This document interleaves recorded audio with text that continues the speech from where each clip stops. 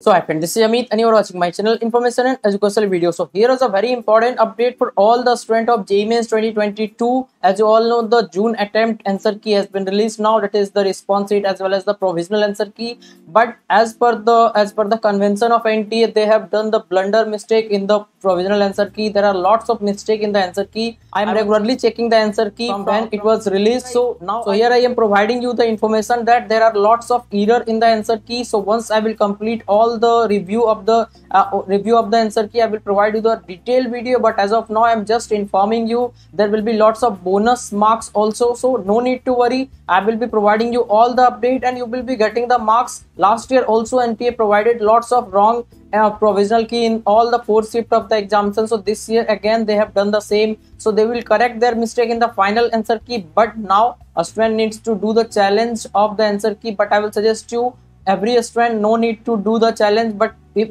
because if any student will do the challenge everyone will get the benefit of that. So no need to worry about those things. But here i would like to request if you think any questions answer is wrong in the in your provisional answer key then please try to comment down the, the shift as well as the subject and number of question also so that other student can other student can take the reference. And i will also analyze that and if, if that will be a valid claim i will try to uh, i will try to consider that question in my next video. That is in which i will talk about the detailed analysis of error and bonus a bonus question for each shift shift of june attempt. That is all 12 sheet i will be considering. So please try to subscribe this channel so you will be getting that information very soon in this same channel. So don't worry as of of now i will just suggest you keep patience. Once i will get the complete information about all the error and bonus i will provide you the video in this same channel. No matter it can take one hour two hour from now but i will be providing you that information very soon in the same channel. So please try to subscribe the channel so that you will be getting that information very soon in this same channel. Thanks.